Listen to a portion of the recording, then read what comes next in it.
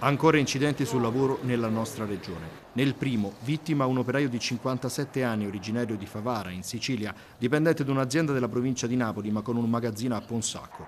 L'uomo ha perso la vita mentre stava lavorando alla ripulitura di un oleodotto che attraversa la campagna di San Miniato. È rimasto incastrato in una macchina che tritura il legno. Pare che il comando della cipatrice fosse a distanza. Nonostante i tentativi di rianimarlo del 118, era presente anche lei di soccorso per il trasporto più veloce in ospedale, l'operaio è morto sul posto per la gravità delle ferite riportate.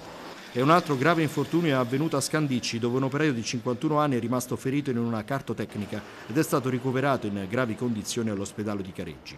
Il macchinario è stato posto sotto sequestro. Una quarantina gli infortuni mortali sul lavoro in Toscana dall'inizio del 2019, il leggero caro rispetto allo scorso anno, mentre non diminuiscono le denunce di incidenti professionali. Solo a fine agosto erano quasi 33.000. Una conta che viene continuamente aggiornata. Due casi, uno grave, uno mortale, solo nelle ultime ore. Ed è una triste vigilia in vista di domenica 13 ottobre, giornata per le vittime degli incidenti sul lavoro.